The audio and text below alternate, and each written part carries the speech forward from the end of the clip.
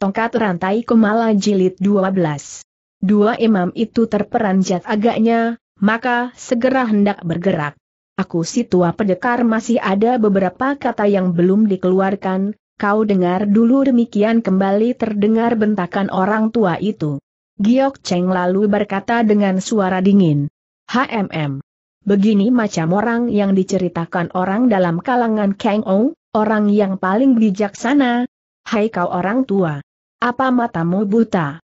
Kau toh lihat sendiri itu orang-orang Tian San Tiang Pek sudah mencuri Kiu Teng Chin Keng Hoasan, kita. Kenapa kau tidak segera mengambil tindakan membasmi mereka? Malah kau halang-halangi kami, apa maksudmu?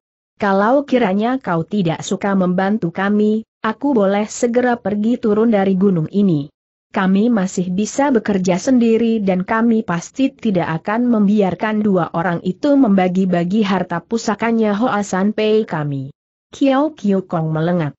Sesaat kemudian ia dapat menenangkan pikirannya kembali dan sambil coba-coba tertawa sebisa-bisanya ia berkata, Kata-katamu memang tidak salah. Tapi ketahuilah, dalam keadaan seperti sekarang ini membunuh orang yang sedang terluka parah, apa kalian tidak takut ditertawakan orang-orang dunia kano? Lagi pula kalau kalian dua orang membunuh mereka itu sekarang, apa kalian kira Kui Teng Chin Keng bisa direbut kembali? Giok Cheng memang sudah lama terkenal karena sikapnya yang berangasan. Giok Hian tidak kalah semerononya. Mendengar kata-kata nasihat dari satu orang menurut, malah sebaliknya sengaja hendak tarik urat dengan kakek pendek itu. Li Tian Kau dan Kong San Yan itu semuanya orang-orang rakus demikian debatu ya. Kalau hari ini kita biarkan mereka pergi hidup, bukankah dunia akan lebih tidak aman? Apalagi sekarang ini mereka masing-masing sudah mendapatkan separuh dari Kiu Teng Chin Keng kita. Siapa nanti yang sanggup menaklukkan mereka kalau di kemudian hari mereka berbuat sewenang-wenang dengan ilmu curiannya itu? Bicara sampai di sini, lantas terlihat imam ini melangkah hendak maju lagi. Kiao Kiu Kong yang mendengar kata-kata Giok Hian Tojin yang agaknya sukar didebat, sesaat tidak bisa berbuat apa. Ia membiarkan Tosu itu lewat di sampingnya ia yang mempunyai kesukaran sendiri dalam hatinya tidak bisa berbuat banyak untuk mencegah imam-imam yang mau bertindak untuk partainya sendiri itu. Seandainya ia menahan terus dua tosut tua ini dan di kemudian hari dua jago-jago jahat itu benar-benar sampai mengacau dunia, siapa yang harus bertanggung jawab begitu juga sebaliknya, kalau ia membiarkan mereka membunuh jago Tian San dan Tiang Pek itu, bagaimana pula pendapat umum mengenal dirinya? Di depan matanya orang-orang yang terluka parah dibunuh orang.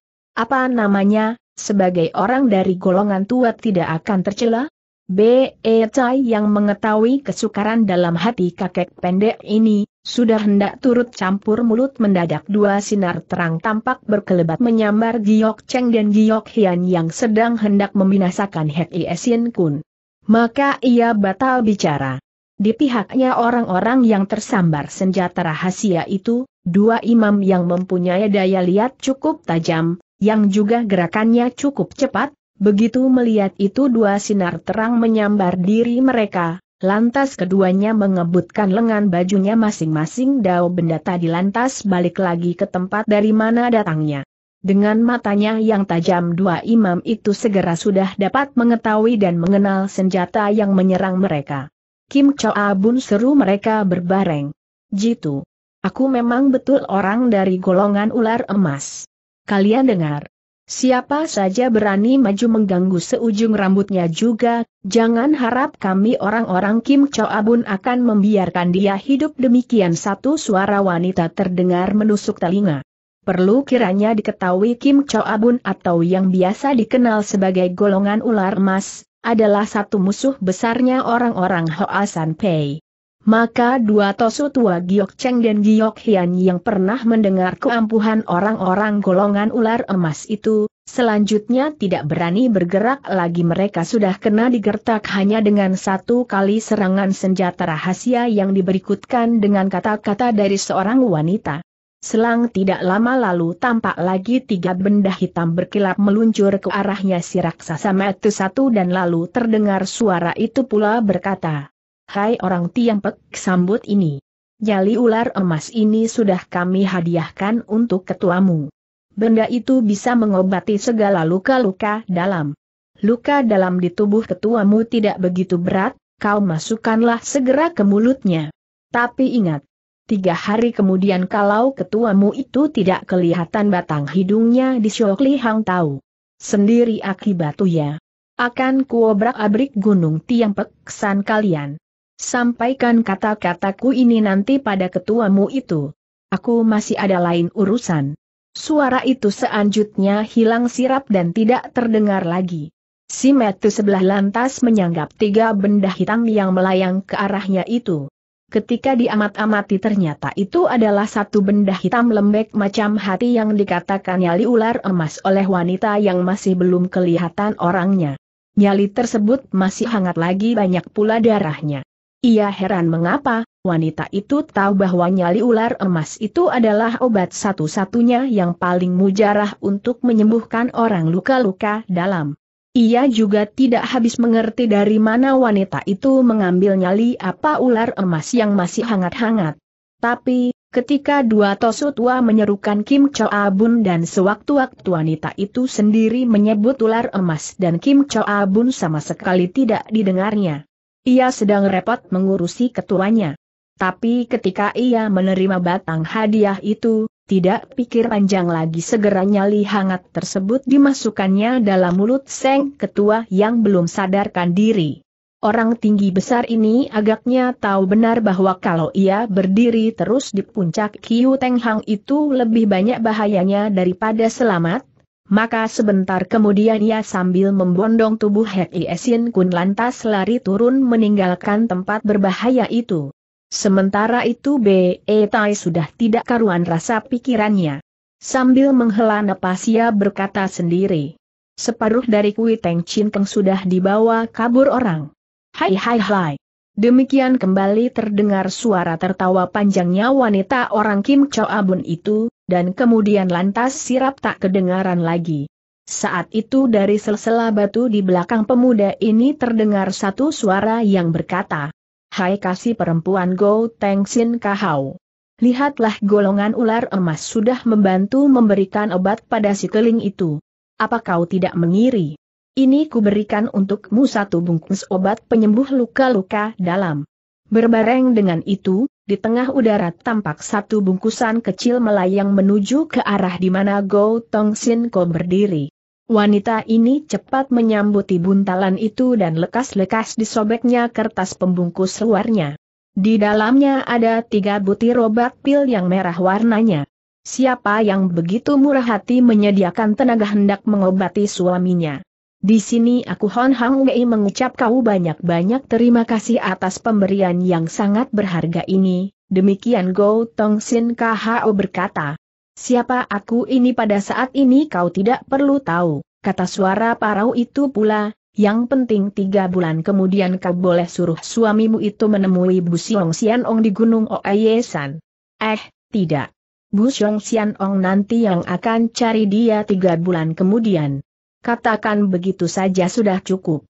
Dia pasti akan mengenali siapa aku, melanjutkan pula orang dengan suara parau itu tapi orangnya tidak memperlihatkan diri. Wajah Gotong Sin KHO berubah pucat pasti seketika.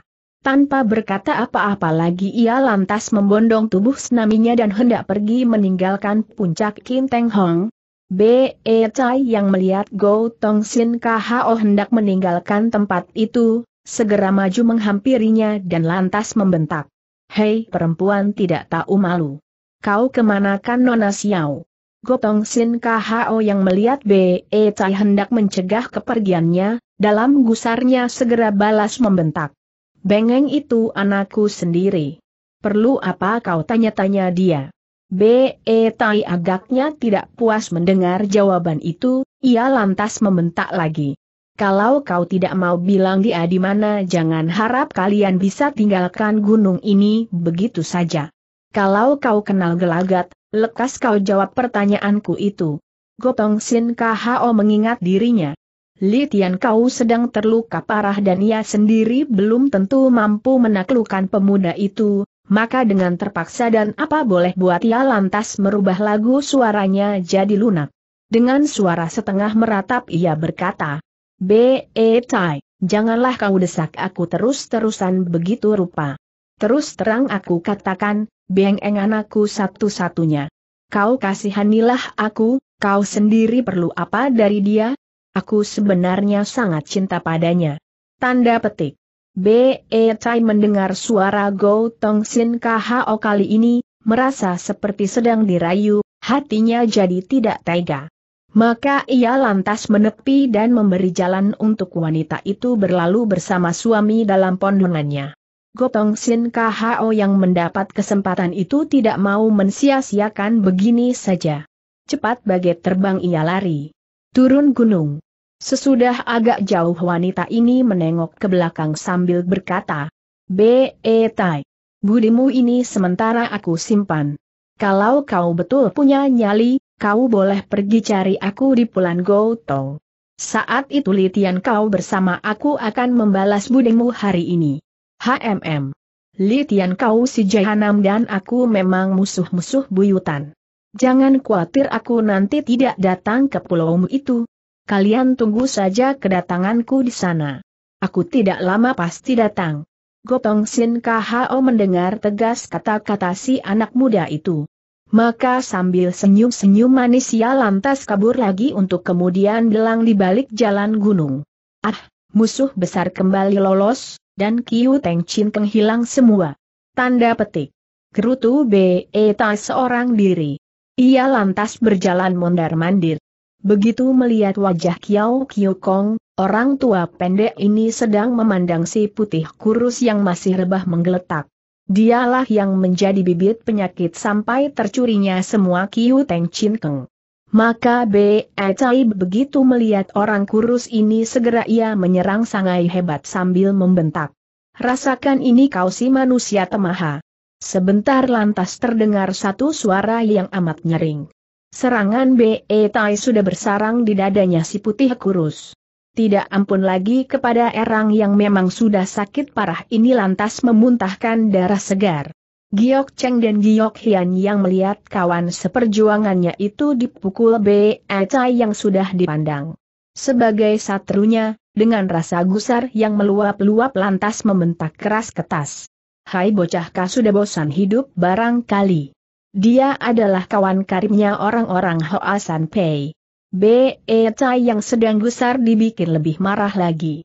Segera ia mencabut suling hitamnya dan menudingkan suling ini ke mukanya dua imam tua itu sambil membentak. Giok Cheng dan Giok Hian dengar. Mengingat kita sama jama manusia yang ingin hidup dan untuk menjaga keutuhannya Hoa San Pei, mulai hari ini aku pecat kalian dari kepartaian. Lekas kalian pergi dari sini. Dua tosu tua itu menggeram keras dan lantas menubruk B. Tai dari dua jurusan mereka sudah menyerang berbareng. Mendadak satu bayangan kurus tampak berkelebat orang ini lantas menyambuti serangan dua imam tua itu Toa Sanpe yang sudah dipecat dari perguruannya itu. Berbareng dengan itu juga terdengar suaranya berkata, Kiao Poe mari kita talangi dia mengusir dua tosu tua ini. Siapa orang kurus ini? Dia tidak lain tidak bukan daripada Jie Sian Seng, orang kurus kecil yang seperti berpenyakitan. Kiao Kiao Kong juga sudah segera mengenali orang itu. Ia lantas ketawa bergelak-gelak. Jie Sian Seng memang bisa bekerja sebat, katanya. Baiklah, aku orang pendek ini akan menuruti perintahmu. Tanda seru. Lalu kakek pendek itu lantas merendengi Jie Xian Seng dan bersama-sama mereka lalu menyerang satu dan mendesak dua tosu tua itu. Giok Hian sempat gusar. Ia sudah hendak menempur dua orang itu mati-matian. Tapi Giok Cheng yang pandangannya lebih luas lantas menarik lengan baju adik seperguruannya ini sambil berkata, Losam, sabarlah, nanti ada satu waktu kita boleh sama-sama tempur mereka. Dan ia sendiri pada satu kesempatan lalu berjongkok dan menggendong si putih kurus lalu pergi meninggalkan tempat itu setelah berseru. Mari kita pergi. Kiao Kiao Kong dan Jie Xian Seng saling pandang. Mereka lalu sama-sama tertawa lebar. B. E. Tai yang masih merenung dengan wajah cemberut memandang langit, hatinya risau memikirkan hari-hari depan Hoa San Pei dalam pimpinannya. Tongkat rantai kumala telah hilang dan kini Kiu Teng Chin Keng lenyap lagi. Ia yang terlalu muda untuk menjadi ketua satu partai besar, rasanya sukar juga kalau dipaksa memikirkan kejadian-kejadian sulit yang selalu menggerayang di otaknya. Dan saat itu, di bawah sebuah pohon besar yang rindang, di balik satu batu karang, tampak seorang tua berpakaian imam sedang mengucurkan air mata. Dia adalah Giok Hietojin yang tidak berdaya untuk menolong saudara-saudaranya yang telah merencanakan merebut singgasana ketua partainya. Perlu kiranya diketahui sekedarnya, bersama-sama merekalah ia belajar silat dengan guru yang sama sampai 10 tahun lebih lamanya dan bersama-sama mereka. Pernah juga ia memimpin anak murid Hoasan Pei. Sekarang setelah ditinggal pergi oleh dua orang saudara seperguruannya itu, Mana bisa ia tahan terus untuk tidak mengucurkan air mata? Ia menangis sesenggukan. Sekian lama ia merenungkan nasib saudara-saudara seperguruannya itu. Akhirnya ia terjalan kembali ke kelenteng C. E. Tian Koan.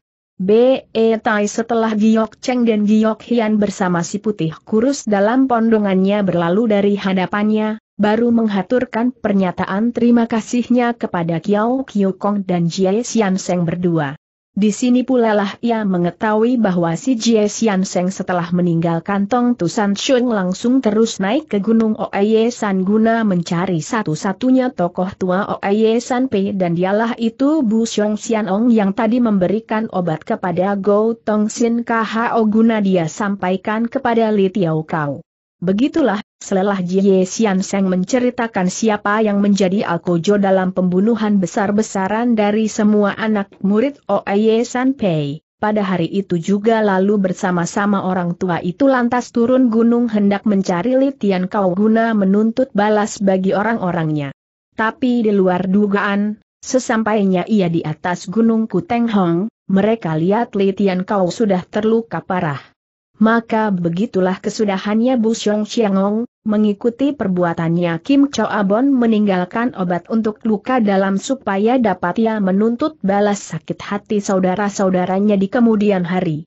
Mendengar habis sampai di sini, B. E. Tai juga lalu menuturkan semua pengalamannya sendiri ia juga menceritakan halnya si pedang tumpul yang terluka dari atas Kuteng Hang dengan luka yang tidak boleh dikata ringan dia memaksakan diri memberi kabar kepadanya di Kelenteng C. E. Tian Koan dan sesampainya di Kelenteng C. E. Tian Koan lantas jatuh rubuh sekarang masih ada di kelenteng tersebut. Setelah masing-masing pada menceritakan pengalamannya sendiri-sendiri lalu ketiga-tiganya berkeputusan hendak segera berangkat kembali ke C. E. Tian Koan. Tapi siapanya na, belum lagi mereka angkat kaki mendadak terdengar suara hura-hura, yang kedengaran nyata oleh orang-orang itu. B. E. Tai yang mendengar itu sudah segera mengetahui dan dalam keadaan bagaimana sekarang orang yang mengeluarkan suara seperti itu. Maka dengan suara tidak lampias ia lalu berkata kepada dua orang tua yang hendak mengiringnya ke C. E. Tian Koan katanya. Harap Jiwei Lo Ciampu sesuka menunggu Boan Pue E di kelenteng C. E. Tian Koan, Boan Pue E sendiri masih ada satu urusan yang harus cepat-cepat diselesaikan terpaksa tidak dapat menemani. Jiwei sekalian. Setelah berkata demikian cepat ia membalikan badan dan terus pergi mengikuti arah dari mana datangnya suara huru hara tadi. Makin jauh ia berlari makin samar kedengaran suara permintaan tolong tersebut. Tanpa ayah lagi. B. E. Tai juga, segera mempercepat langkahnya. Cepat bagaikan terbang ia lari turun ke bawah. Di antara puncak Kiu Teng Hang dan jalan raya yang terdapat di lamping gunung, dalam jarak yang tidak seberapa jauh, sewaktu B. E. Tai tiba di sana, dilihatnya satu tempat bekas pertempuran tapi lain dari itu tidak lagi yang bisa dilihatnya, juga suara aneh itu tidak terdengar pula. Apa mungkin semua pengemis sudah dibunuh seluruhnya? Dan mayatnya dilemparkan jauh-jauh, demikian pikir B. E. Tai dalam hati. Ia juga lantas mulai mengadakan penyelidikan yang lebih teliti. Mendadak di tempat tidak jauh dari tempatnya berdiri terdengar satu suara rintihan amat perlahan. Tapi cukup jelas masuk dalam telinga si anak muda. Cepat ia menghampiri dari mana datangnya suara itu. Di tempat yang banyak rumputnya yang sampai setinggi paha orang, setelah B.E. Chai mengungkap dengan seruling hitamnya, tampak satu orang menggeletak terlentang suara rintihan masih keluar dari mulutnya. Bajunya ia kenal betul adalah baju seorang wanita. Sewaktu ditegasi. Aduh. Kau es Yao Yeu? Mengapa kau bisa sampai terluka di sini? Ternyata dia adalah satu wanita yang mengenakan pakaian macam pengemis, dia bukan lain daripada Is Yao Yeu si pengemis wanita yang pernah diketemukan di kelenteng C. E Tian Koan. Cepat mengadakan pemeriksaan. Kedua pahanya sudah mulai membengkak. Tampak tegas itu dari pakaian hawanya yang melembung. B. E. Tak segera tahu bahwa itu pasti adalah hasil perbuatan orang-orang Kim Choa Bun lagi, karena tidak bisa lain, musuh kaum pengemis adalah orang-orang Kim Choa Bun. Maka cepat ia mengeluarkan obat penawar racun ular emas yang didapat dari hasil rampasannya dari lawan-lawannya di kelenteng C. E. Tian Koan tadi. Obat penawaran itu segera dicekukkan ke dalam mulut Is Yao Ye usi pengemis perempuan, ia sendiri yang karena takut terkena racun jahatnya ular emas, sebelumnya telah menelan juga beberapa butir, ia lalu mendongakkan kepala.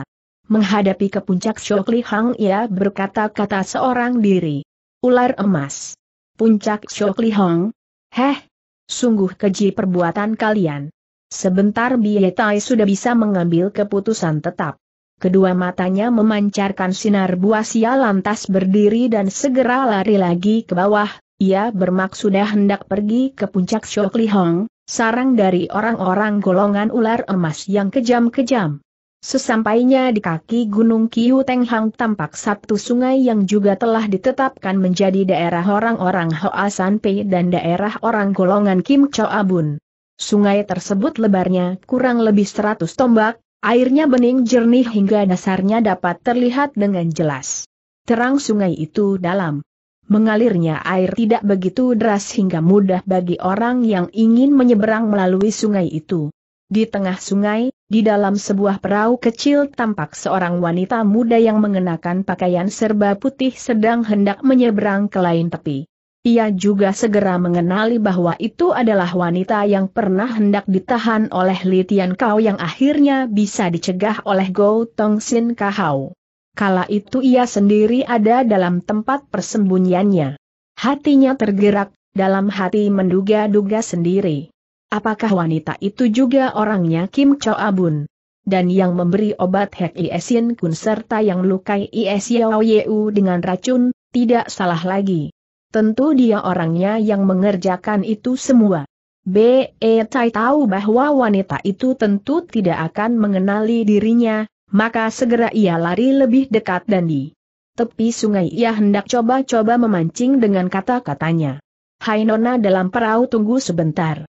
Apakah sudah tahu di atas puncak sana banyak racun ular-ular berbisa? Di sana juga banyak orang-orang jahat. Apa kau tidak jari menghadapi orang-orangnya? Si wanita yang diserukan lekas menoleh. Hendaknya diketahui, pakaian yang dikenakan oleh B.E. Tai saat itu masih pakaian dari Kui In Chun yang sudah koyak di sana-sini, maka orang yang tidak tahu mungkin akan mengira ia adalah seorang pengemis atau gembel yang kesasar jalan sampai di situ. Si wanita baju putih yang sudah berada di tengah sungai, lantas menghentikan gerakan perahunya. Ia segera dapat lihat seorang tua cam pengemis berdiri di tepian sungai sambil menggapai-gapaikan tangannya. Sementara itu B. E. Tai si anak muda, begitu melihat si wanita menoleh tadi, seketika dibikin kesima. Sungguh cantik wanita muda itu. Cantik bagai bidadari baru turun dari kahyangan. Wanita-wanita muda lain yang pernah dikenalnya seperti Xiao Beng Eng dan Ie Xiao Yeu, masih kalah cantiknya kalau dibandingkan dengan kecantikan Nona di dalam perahu itu. Ia masih berdiri kesima memandang wajah wanita muda itu. seolah-olah terbetot oleh satu kekuatan gaib yang tiada tampak matanya masih terus melekat di wajah Nona dalam perahu itu. Di samping itu, si Nona yang melihat si pemuda berdiri ke Sima, mengayuh balik perahunya terus ke tempat si pemuda berdiri terpaku. Kemudian, sesampainya di tepi, dengan sekali enjot tubuhnya sudah berada di dekat si anak muda. Kini B.E. Tai agaknya sudah dibikin sadar. Segera ia menegur lagi. Nona, Nona sebagai seorang perempuan hendaknya jangan pergi ke puncak Shokli Hang tanpa teman. Di sana sudah lama terkenal banyak bahayanya. Si wanita muda dengan mata bersinar dingin, tidak menggubris kata-kata si pemuda. Tapi ia terus menatap wajah B.E. Tai. B.E. Tai yang ditatap terus olehnya menjadi jengah sendirinya. Pipinya sebentar sudah menjadi merah padam seperti kepiting direbus. Dalam hati ia berkata-kata seorang diri. Satu laki-laki perlu apa mesti takut terhadap seorang perempuan yang muda seperti dia? Tidak, aku tak takut. Memikir demikian, maka ia balik menatap wajah nona itu. Dua pasang mata berbentrokan. Dua-duanya diam tak berkata-kata. Lama. Akhirnya si wanita baju putih itu jugalah yang mulai membuka lagi percakapan. Kau siapa? Kenapa kau berani melihat aku demikian rupa? B. E. Tai terkejut. Kalau wanita muda itu boleh memandang mukanya, mengapa ia sendiri mesti tunduk di bawah sorot mata orang yang memandangnya itu? Tapi bukan itu saja yang menjadi buah pikirannya. Mengapa tingkah laku darah itu kaku sekali seperti orang kena tersihir saja? Lagi pula wajahnya mengapa bisa begitu dingin? Wajah yang amat cantik, dihiasi dengan metu yang dingin, apakah itu tidak mengurangkan kecantikannya? Maka dalam hati diam-diam ia berkata sendiri. Apa di dalam dunia ini ada orang yang begitu dingin sikapnya? Kenapa begitu kaku sikap nona itu? Masih dalam hati ia memikir demikian, namun di luarnya, dengan wajah tersungging satu senyum yang menarik ia berkata, Aku yang rendah adalah B.E. Tai. Numpang tanya siapa nama Nona yang mulia? Bolehkah aku yang rendah menanyakan satu soal? Bicara sampai di sini, tanpa menunggu jawabannya lagi ia meneruskan lagi kata-katanya. Adakah Nona sekarang mau pergi ke Siok Lihong? Si Nona yang ditanya senyum agak kaku. Dengan mata masih ditujukan ke muka orang di hadapannya ia berkata, Siapa yang mau banyak-banyak omong dengan K1 pengemis? Hai, kau dengan orang Kaipang ada hubungan apa? Tegur ketus secara demikian. B. E. Tai tidak menjadi gusar. Ia tetap memperlihatkan senyuman di wajahnya. Atas pertanyaan itu ia menjawab dengan sangat menghormati. Nona harap Nona jangan salah sangka, Nona telah salah mata. Meski betul seperti apa yang Nona lihat aku menggunakan pakaian compang-camping macam pengemis, tapi, golongan pengemis, musuh besar orang-orang Kim Cho Abun, mana berani sembarang-sembarang datang ke sini dan seorang diri lagi? Kalau begitu, kau kemari mau apa? B. E. Tai kembali memandang si Nona, dan Nona itu masih tetap menatap wajahnya. Nona, aku, bicara sesungguhnya, tidak mengandung jahat atas diri Nona. Kenapa Nona begitu galak perlakukan aku?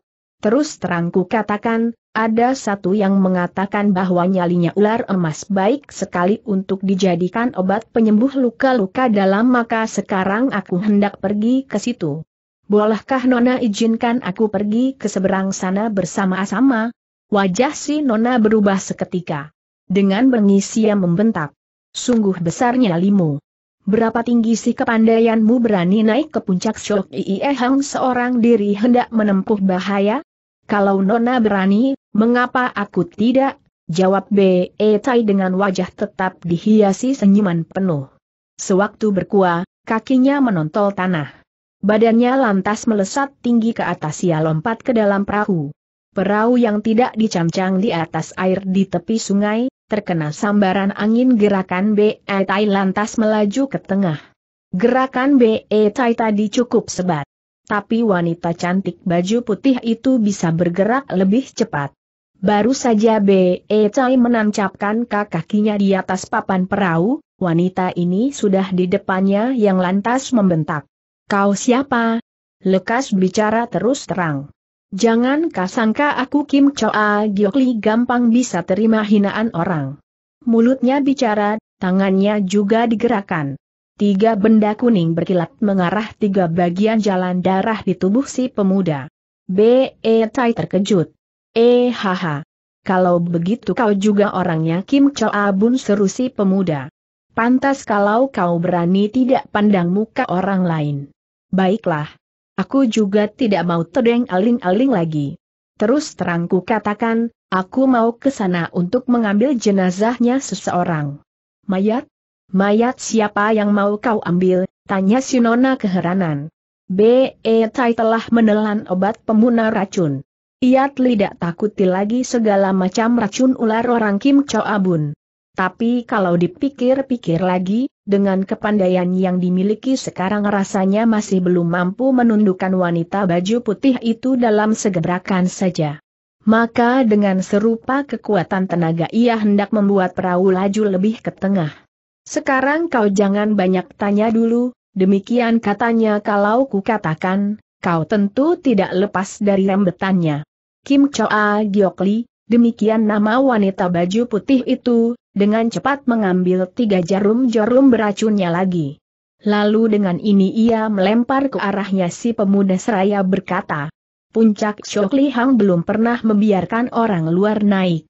Kau jangan coba-coba pergi ke sana, lekas pergi dari sini. Si pemuda segera lompat menghindarkan serangan gelapnya si Nona. Diam-diam ia mengeluh. Dalam hatinya berpikir, kembali harus berhadapan dengan perempuan Kim Cho Abun yang jahat. Apa aku harus? Dan tangannya sudah dikasih bekerja. Dengan seruling di tangan, ia menyerang beruntun beberapa kali. Tapi sungguh di luar dugaannya, dalam beberapa gebrakan saja membuat Kim Choa Giokli rubuh, totokannya tepat mengenai Igasi Nona. Jatuhnya Kim Choa Giokli di atas papan perahu, dan bergerak-geraknya tubuh dua orang tadi di atas satu perahu yang tidak cukup lebar, membawa akibat yang tidak diingini. Karena goncangan cukup keras, perahu segera terbalik, dua-dua orang di atas badan perahu pada jatuh sekalian. Mereka mandi. B. E. Chai yang sejak kecil belum pernah meninggalkan Kiun Chung, tidak tahu bagaimana harus bertindak di dalam air. Maka begitu perahu terbalik dan badannya sendiri hendak nyebur ke sungai, semula masih hendak berusaha lompat ke pinggir. Tapi tepian sudah jauh dari perahu. Maka tanpa ampun lagi segera ia kecebur minum air. Dengan badan selulup timbul tangannya digerak-gerakan ke sana kemari. Dan ia berhasil menjamret sesuatu benda yang lunak. Dengan cepat, ditariknya benda itu. Benda apa itu lunak-lunak? Itu adalah badan Kim Choa Giok Lie yang juga karena tertotok jalan darahnya, kecebur ke dalam air. B. E. Tai dengan adanya benda pegangan, satu waktu berhasil menongolkan kepalanya ke atas. Dilihatnya badan perahu tidak jauh daripadanya. Cepat ia menjamret lagi dengan tangan satu tangan lainnya memegang lengan halusnya Kim Choa Giok Li. Dan ia berhasil. Kini baru diketahuinya bahwa apa yang dipegangnya adalah lengan mulusnya Kim Choa Giok Li. Sementara itu perahu terus menghanjut ke tepi seberang. Agak lama mereka terapung-apung di atas air. B. E. Chai yang sudah mendapat pegangan baru, sungkan melepaskan pegangan lamanya. Begitulah dengan sebelah tangan menarik lengan Kim Choa Giok Li, tangan yang satu lagi menyekal badan perahu erat-erat. Akhirnya sampai juga mereka ke lain seberang. Dan kaki Betai sudah bisa menginjak tanah di bawahnya. Waktu itu dilihatnya Kim Choa Giokli sudah pucat pasi. Yang lebih-lebih membuat si anak muda tidak habis pikir ialah, badan si Nona sudah dingin seperti es sedang perutnya baru sedikit kemasukan air. Ia terkejut. Tapi cepat-cepat juga bergerak. Ia segera menyambar dua kaki si Nona dan diangkatnya tinggi-tinggi. Air segera juga keluar dari mulut Nona itu. Tapi hanya sedikit. Setelah itu berhenti, tidak keluar lagi. Aneh. Kenapa badannya dingin sekali? Apa mungkin ia sudah mati? Tidak. Ia tidak boleh mati. Sayang nona cantik seperti dia. Demikian kata-kata B. Etai dalam hatinya. Tapi ia tidak mampu melanjutkan lamunannya. Karena ia harus menolong orang dulu yang lebih perlu. Telinganya lantas ditempelkan di atas dada si nona. Masih bergerak-gerak. Sekalipun amat lemah, tapi harapan untuk hidup masih besar kemungkinannya. Sebenarnya ia sendiri tidak tahu mengapa ia begitu memperhatikan keselamatan Nona di bawah kakinya itu. Padahal dia tahu bahwa wanita itu tentu kejam dan telengas, karena dia orangnya golongan ular emas.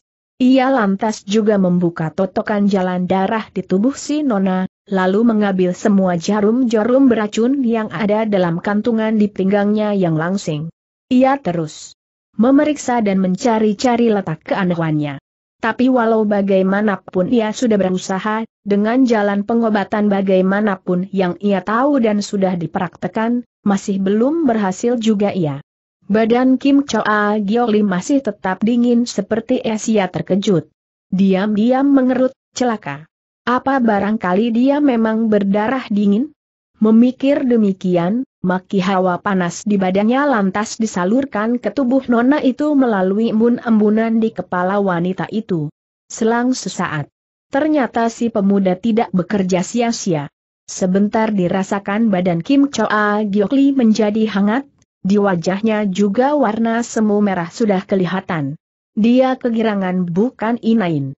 Nah dia sudah mulai. Tanda petik.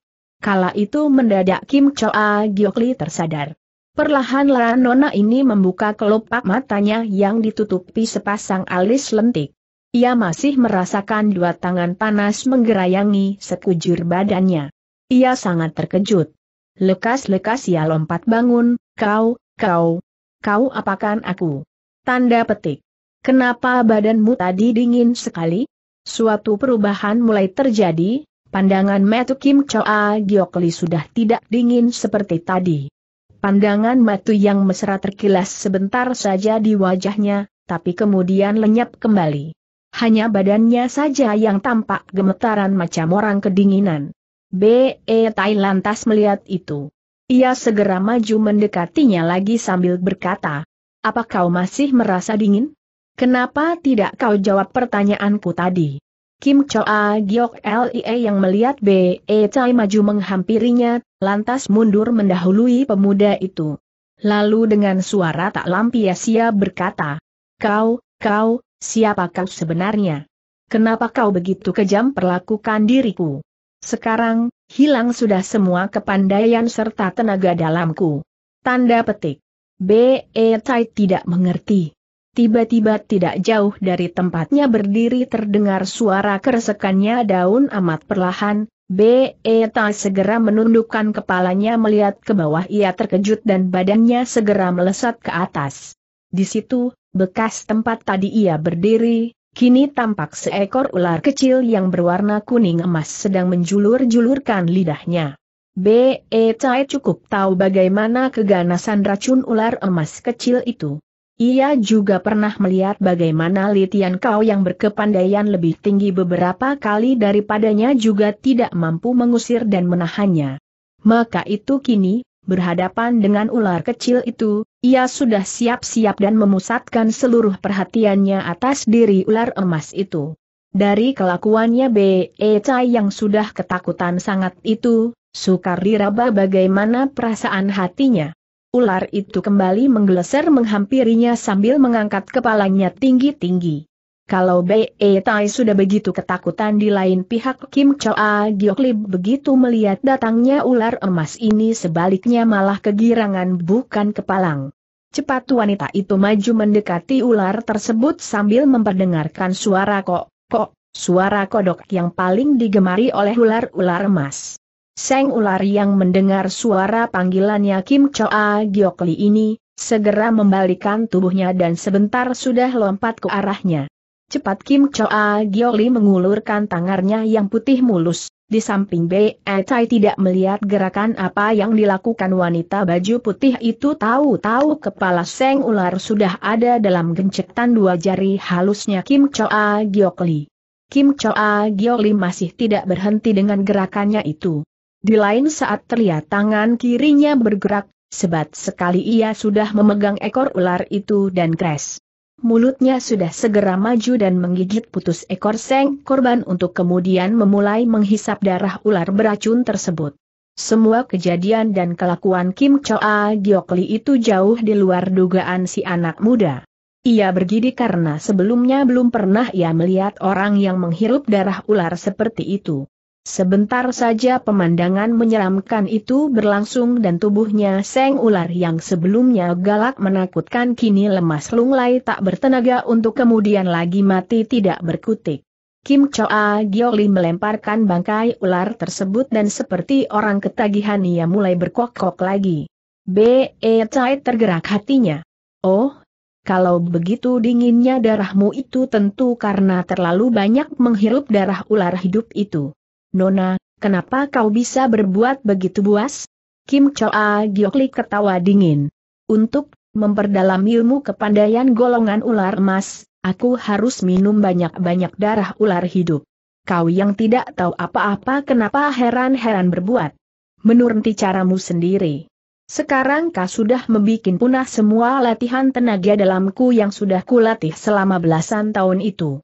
Aku, yang mau melatih lagi harus minta darah ular hidup banyak lagi baru bisa kembali bergerak leluasa. Aku sebetulnya tidak sudi mengatakan semua itu kepadamu, tapi, ah, sudahlah. Lekas kau pergi dari sini. Kalau Sucie melihat kau berada di puncak Shokli Hang pasti habis nyawamu. Tanda petik. Kata-katanya Kim Choa Giok Li yang mengandung unsur kebaikan itu sungguh berbeda jauh dengan sifat dan sikap ketus dingin yang dimilikinya pada saat sebelum itu. Dan B.E. Chai juga sudah merasakan adanya perbedaan sikap dan suara nona itu. Menurut penglihatanku, bukan orang jahat dia ini. Dia tadi yang bersikap dingin tentu terlalu banyak minum darah ular. Kalau saja dia meninggalkan golongan tersesat itu, bukankah sangat baik sekali? Memikir sampai di situ si pemuda tiba-tiba tertawa. Apa suciamu itu namanya Kim Cho Asin Li? Aku tidak takut padanya, aku berani ke atas Shok Li Hong. Aku ingin mengambil kembali mayat sucauku di sana. B. E. Tai mendadak mendapat suatu pikiran apa-apa. Ia lalu maju mendekati Kim Choa Giok Li. Kim Choa Giok Li kembali bertindak mundur tapi B.E. Tai tak mau membiarkannya. Ia sudah menubruk lagi. Apa kau mau mampus demikian gertak si Nona, dan kembali badannya melesat ke belakang. B.E. Tai yang dua kali menubruk tempat kosong, agaknya merasa penasaran. Segera ia merubah gerakan badannya. Kini ia menggunakan ilmu yang baru didapat dari atas sembilan tiang batu di Kiu Eng Hong, badannya berlompat-lompatan ke sana kemari di seputar badan Kim Choa Giok Li. Kim Choa Giok Li merasa matanya berkunang-kunang. Ia seolah-olah melihat di sekitar dirinya ada banyak bayangan si pemuda yang sedang berlompat-lompatan, ia mengeluh celaka dan lagi-lagi lompat jauh ke belakang dalam usahanya menghindarkan kejaran si anak muda. Tapi hanya terdengar satu suara tertawa yang perlahan sekali dan B.E. Chai yang sudah menanti di belakangnya, dengan sekali peluk sudah dapat merangkul pinggang rampingnya si wanita muda. Kim Choa Giokli belum lagi melakukan gerakan apa-apa mendadak satu aliran hawa hangat menyusup masuk ke dalam tubuhnya dan kembali darah dingin yang baru sedikit didapatkan itu diputar haluannya. Aku adalah ketua Hoa San Pei sekarang. Namaku Bei E Tai. Sebenarnya tidak ada maksud aku untuk berlaku kurang ajar terhadap Nona, tapi karena Nona yang lemah dan juga telah terjeblos masuk ke dalam kumpulan orang-orang sesat Nona bisa nanti bersikap tidak seperti manusia lagi. Dengarlah baik-baik kata-kataku ini dan sayangilah jiwamu sendiri sayang kalau kau yang begini cantik molek sampai diperalat oleh orang jahat itu. Sungguh sayang kalau wajah dan kelakuan Nona tidak sesuai. Kim Choa Giokli sejak dirangkul tadi, merasakan badannya tidak enak sedikit dingin dicampur panas sehingga seolah-olah orang meriang badannya menggigil. Tapi tidak lama setelah itu, ia sudah bisa lagi menyesuaikan diri dengan hawa panas. Hanya rasa takutnya yang masih belum hilang seluruhnya, ia takut kalau-kalau sucianya yang kejam ganas nanti datang ke situ. Lepaskanlah aku. Lepaskanlah aku teriaknya kemudian. Jangan kau peluk aku begitu rupa nanti suciaku datang kau bisa celaka. Lepas. B. E. yang hendak menolong orang tidak mau menolong setengah-setengah. Maka ia terus menolak tanpa memperdulikan teriakan-teriakan si Nona. Sebentar saja hawa dingin di badan nona itu sudah tidak terasa lagi. Sebagai gantinya, hawa hangat sadah mulai keluar dari tubuhnya. B. E. Tai lebih keras merangkul si nona. Nona, kau tidak perlu begitu ketakutan. Sebentar kau tak dingin lagi, tentu akan segera kulepaskan badanmu. Eh Nona, kalau kulihat dari mukamu, kau tentu lebih tua dari aku maka izinkanlah aku memanggilmu Cie-Cie. Bolehkah? Cie-Cie yang manis, pejamkanlah matamu. Sebentar lagi bisa seperti manusia-manusia biasa. Tanda petik. Kim Choa Giok Lie yang terus meronta-ronta, tentu tidak memudahkan bagi si pemuda untuk ia meneruskan peagobatannya. Tapi seberapa dapat ia terus berusaha, Sebentar lalu dirasakan badan Kim Choa Giokli lemas tak bertenaga, dalam pelukannya seolah-olah mempunyai bobot lebih berat. Maka B. Echai juga lantas mengikuti tubuh orang yang sudah jadi sangat berat, kedua-duanya lalu jatuh merosot ke bawah. Dan ia yang tak mau menindih badan si Nona, membiarkan saja dirinya sendiri tertindih, tapi cekalannya masih tidak dilepaskan. Dengan suara bisik-bisik ia lalu berkata pada wanita muda itu. Cicie, mesti aku masih punya keberanian untuk naik ke Shok Ie Hong, tapi rasanya masih belum bisa menghindarkan diri dari tangan maut orang-orang ganas di sana. Namun demikian, sekarang aku juga sudah rela korbankan segala-galanya karena aku sudah menolongmu keluar dari golongan tersesat. B. E. Chai yang biasanya bersikap keras terhadap siapa pun juga sekarang E. Atah mengapa sifatnya dapat berubah. Demikian lunak di hadapan Kim Choa Giok Li. Bicaranya pun seperti tidak ada putus-putusnya. Cie Cie, umpama kata aku tidak berhasil dalam usahaku dan jadi mati di Shok Ii Hong, aku juga tidak akan merasa menyesal. Cuma saja, masih ada ayahku yang saat ini berada di kuil PBE Kie, tolonglah kau rawat dan jaga dirinya baik-baik. Dan lagi mayatku nanti, supaya jangan sampai terlantar tolong Cie-Cie antarkan ke kelenteng C. E Tian Koan di puncak sana, demikian melanjutkan si pemuda pula.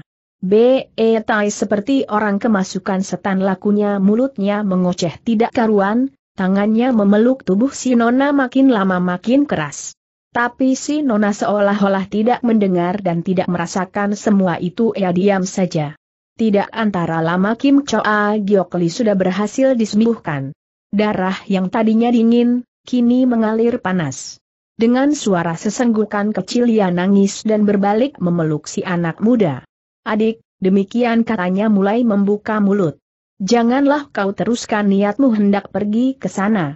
Aku mohon supaya kau suka dengan kata-kataku ini percuma kau nanti setelah sampai di atas sama saja seperti antarkan jiwa secara percuma. Tanda petik. B. E. Chai yang mendapat sambutan hangat, segera balas memeluk lebih erat. Sekalipun badan si Nona mungkin sudah panas seluruhnya, tapi ia agaknya berat melepaskannya. Cie-cie demikian katanya pula, akan ketahuilah sifat adikmu ini sekali bekerja harus selesai tidak mau kepalang tanggung. Kalau aku kata pergi, aku tetap akan pergi. Aku sudah mengambil keputusan tetap, hari ini juga mengambil. Kembali mayat Sucowiku Giok Chin Chufin. Tapi mungkin, masih ada satu hal yang belum kau tahu menurut Kna LT Han Siang Jin Ketua Hoasan Pei yang ketiga sebelum aku menjadi ketua, Kabarnya beliau teraniaya di atas puncak Shok Li Hang setengah tahun lebih lamanya. Mungkin ia di sana mempunyai sisa-sisa peninggalan Kiu Teng Chin Keng, maka tidak boleh tidak adikmu harus pergi melihatnya ke sana. Adikmu tidak takut apa dan siapa juga. Kim Choa Gioli masih sesenggukan dan masih berpeluk-pelukan dengan si pemuda. Adik B.E., katanya pula. Janganlah sekali-kali kau teruskan keinginanmu itu. Kau harus tahu. Kim Cho Abun belum pernah mengizinkan orang luar naik sampai di puncak Shok Li Hong. Apalagi setahuku sampai saat ini belum pernah ada orang luar yang bisa naik ke atas puncak Shok Li Hong dan kalaupun bisa, tentu tidak akan turun lagi selamanya. Maka aku harap sangat, janganlah kau pergi ke sana. B. E. Tai masih tetap geleng-gelengkan kepala. Cici E yang baik, kau ketahuilah bahwa aku sebenarnya juga tidak mau mati. Entah mengapa pertama aku melihatmu di sungai itu, aku telah mendapat satu perasaan ingin hidup lebih lama dalam dunia, kalau dapat juga bersamamu. Tapi yakinlah, adikmu tidak nanti mati di sana. Kau percayalah kata-kataku. Aku pasti bisa pergi dan balik lagi dari puncak Shokli Hang dalam keadaan selamat. Kim Choa Giokli tidak mengatakan apa-apa lagi ia membiarkan dirinya masih dalam pelukan si pemuda dan ia malah memeluk si anak ketemu gede, itu lebih erat, kepalanya disusupkan ke dada si anak muda yang lebar. Kala itu, B. E. Tai sama sekali tidak pernah merasakan hawa dingin lagi, hawa tersebut sudah lenyap semua. Sebagai gantinya, semacam hawa gadis yang harum semerbak lantas merangsang hidungnya. Ia akhirnya berhasil juga merubah Kim Choa Giokli menjadi wanita baru lahir, dengan darah panas. Dengan suara perlahan sekali ia kemudian memanggil si Nona. Cie Cie. Tanda petik. NG. Demikian adalah sahutan Kim Choa Giokli suaranya perlahan, lemah lembut. Baru kinilah B.E. Chai melepaskan cekalannya dan membiarkan saja Kim Choa Gioli menindih terus di atas tubuhnya. Dan si Nona pun agaknya malas bangun, tangannya masih memegang erat-erat bahu si pemuda. B.E. Chai yang sudah lama belum kemasukan nasi di perutnya, dengan suara perlahan ia berkata, Cie Cie, aku lapar sekali. Apa kau pun sudah lapar? Apa di sekitar tempat ini ada buah-buahan yang bisa dimakan untuk menangsel perut? Bagaimana kalau kita sama-sama mencari buah-buahan dan setelah itu kita berdua naik bersama ke atas puncak Siok Lihong? Kim Choa Gioli melirik wajah si pemuda. Pandangan matanya itu segera bentrok dengan tatapan mata si anak muda. Pemuda ini merasakan pandangan mesra si Nona menerobos masuk terus ke hatinya. Nona ini dengan mata berkaca-kaca menanya si pemuda, adik, apa betul kau sudah tak takut mati? B. E. Chai yang masih berusia muda, tidak mengerti apa maksud sebenarnya yang terkandung dalam pandangan. Matt mesra dari si Nona, ketika ia ditanya, baru hendak menjawab, mendadak terdengar satu suara wanita lain berkata. Kemudian sudah di depan mata, perlu apa mesti takut mati segala? B. E. Tai dan Kim Choi Giokli terkejut. Keduanya lompat dengan bangun berbareng. B. E. Tai yang segera mengenali suara itu, suara Kim Choa Sin Lee, segera membentak. Kim Choa Sin Lee. Sungguh kebetulan sekali kedatanganmu. Aku B. E. Tai ingin tagih pulang jenazah ketua partai Hoa San Pei kami yang dulu dari kau. Di tempat agak kejauhan tampak dua bayangan berkelebat. Satu adalah Kim Choa Sin Lie yang segera dikenal oleh si anak muda dan yang lain juga wanita, adalah itu wanita yang dulu pernah juga dilihatnya bersama Kim Choa Li sedang hendak mendaki Gunung Kiu Teng Hong. Namanya Kim Choa Jing Li. Jika jiwa Kim Choa Sin Li selalu tersungging senyuman, adalah Kiai Choa Li tadi sebelum disembuhkan penyakitnya, membawa sikap dingin ketus, Berbeda lagi dengan Kim Choa Jing Lie yang sikapnya tampak seperti sedih selalu. Kim Choa Sin Li saat itu dengan wajah tetap tersungging senyum manisnya kelihatan mengeluarkan sehelai angin yang hampir 20 kaki panjangnya. Wanita ini juga sedang berjalan menghampiri B.E. Tai. Tapi sama sekali ia tidak pernah melihat, sekalipun melirik pada Kim Choa Giok Lie yang berdiri tidak jauh dari tempat B.E. Tai berdiri. Kim Choa Giok Li sendiri bengong. Kemudian dengan suara perlahan wanita cantik itu berseru. Suci Ye. Kim Choa Sin Li tak meladeni panggilan Seng Sumoai ia lantas berkata kepada B. E Tai tanpa merubah wajah priangnya. Hai anak muda, dalam rumah makan di kota Lok yang aku sudah tahu keberanianmu sungguh luar biasa. Tapi tidak pernah kusangkakan sekarang berani mati datang di daerah Hang kami, apakan sudah bosan hidup. B. E. Chai menyeringai. Apa kau sangka aku takuti kepandaianmu yang tinggi demikian katanya. Kau jangan pikir yang bukan-bukan. Kalau aku takut mati, tidak nanti aku berani datang kemari. Itu tentu saja. Siapa sih yang takut mati kalau di dampingnya ada satu gadis jelita yang setiap waktu suka memeluk dirinya? Apalagi di sisimu sekarang ada Kim Choa Giok Li yang cantik melebihi bidadari. Tutup mulut, bentaknya gusar. Cie-cie ini tidak seperti kau yang kejam dan telengas. Sucie. Panggil Kim Choa Giok Li pula. Kim Choa Sin Li menoleh sebentar kemudian buang muka lagi. Sepintas lalu ia sudah dapat lihat adanya perubahan dalam sikap dan wajah sumoinya itu. Maka dengan suara memperolok-olok ia berkata sambil menghadap B.E. Tai seolah-olah ia sedang bercakap dengan si anak muda katanya. Apa kau masih kenal tabiat suciamu ini? Barangkali sampai suhu sendiri sudah tidak ada dalam ingatanmu. HMM 10 tahun budi ular emas silang semua muanya dari atas tubuhmu. HMM HMM. Kim Choa Giok Li tundukkan kepala. Dengan air mata berlinang-linang ia lalu berkata, Sucia ini adalah salah, kau hukumlah aku sesuka hatimu.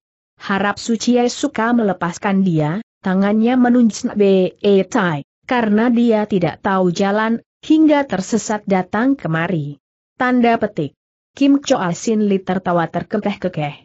Yo ye, pandai juga bicaramu, Demikian katanya menyindir. Mendengar lagu suaramu yang begitu mengisi-isi diamu itu.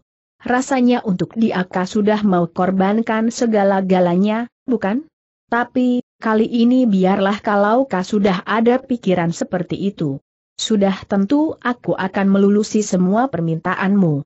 Eh, bagaimana urusan suhu yang menyuruh kau pergi ke Kiu Teng Hou? Apa sudah beres? Kenapa sekarang bolehnya kau kembali bersama dengan si diamu itu? Coba di sini kau jelaskan persoalannya tersesat di jalan? Dia suka kau lalu ikut mau. Kim Choa Giok Lie yang mendengar kata-kata Kim Choa Sin Lie yang menusuk hati, merasa perih dalam hati. Tapi kalau didengar dari lagu bicara yang masih mengingat antara saudara seperguruan, maka harapan baru timbul lagi. Demikianlah, akhirnya dengar suara perlahan ia berkata lagi. Kalau Sucie mau dengar, baiklah Sumoi, nanti ceritakan. Kami, tadi sudah bergebrak mengadu kekuatan. Apa mau kekuatanku jauh di bawahnya, hingga terguling terkena totokannya. Karena jatuhnya tubuhku, perahu yang tidak cukup besar terbalik, hingga kami kecebur dua-duanya, kemudian waktu Sumoi pingsan, dia sudah menolongku membawa ke darat dan merawat luka-lukaku hingga begitulah akhir kejadiannya Sucie sudah tahu sendiri. Tanda petik. Kim Choa Sin Li menganggukkan kepala lalu berpaling mengawasi wanita mewek Kim Choa Jing Lie yang berdiri di sampingnya seraya berkata, Jing Moai, kau bawalah dia menghadap suhu sendiri aku tidak berani mengambil keputusan sendiri. Kim Choa Jing Li memandang ke arah B. E Chai sebentar, lalu lompat melesat menghampiri Kim Choa Giok Moai, mari. Tanda petik. Kim Choa Giok Li semula masih bimbang dan ragu-ragu, tapi kemudian setelah melihat B. E Tai, lalu ia berkata dengan suara keras. B. E Tai, bukan kau lekas pergi dari sini. Ketika ia mengucapkan kata-katanya itu, tampak air mata mengalir turun dari kelopak matanya. Ia tak dapat menahan isak tangisnya, maka kata-katanya terhenti sebentar, tapi kemudian berkata pula melanjutkan, mungkin, tidak bisa kita bertemu lagi. Semoga. B. E. Tai, baik-baiklah kau jaga diri. Tanda petik. Suaranya makin lama makin perlahan, akhirnya sama sekali tidak kedengaran lagi, hanya mulutnya saja tampak masih berkemak-kemik. Sesaat kemudian ia lalu balikan tubuh, lalu bersama-sama dengan Kim Choa Jing Li kabur ke arah Purcak. B. E. Chai merasakan, kepalanya pening.